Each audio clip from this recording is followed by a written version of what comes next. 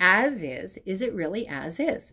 So I had a discussion with somebody today, or actually yesterday, as we were presenting an offer, and they were saying that they wanted to have their home sold as is. Now, in a contract, it's customarily written, there is a paragraph on page 2, item number 11, that states that the properties are being purchased as is in its current present condition. So it's automatically understood. That said, there's two things that really could make that as is not really be an as is sale. First of all, if somebody is paying cash, there are certain things that are required by law to be in place, but there's no statement that says it has to be at the seller's expense. It could potentially be at the buyer's expense.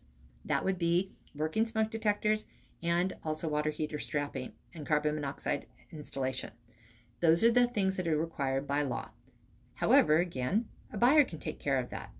When you're looking to sell a property, however, and it's actually lended on where there's a loan in place, then as is doesn't always mean that a seller can sell it that way.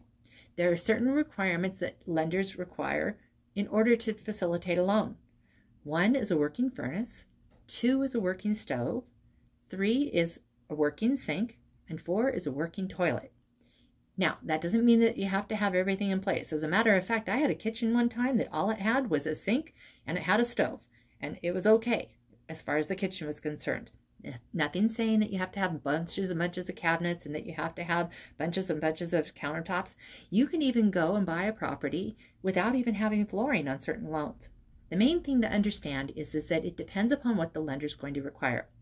The reason that you have to have a, a, furnace or some form of a heat source is because you have to be able to provide some form of heat.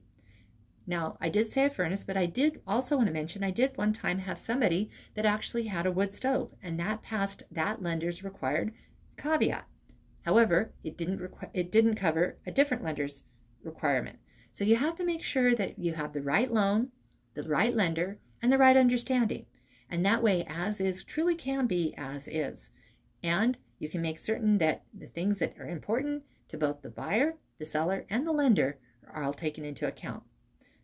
Thought you'd find that interesting? I know they did, because as we were talking about it, they understood that there were certain things that even though we wanted to do it as is, they still were going to have to legally be required to handle.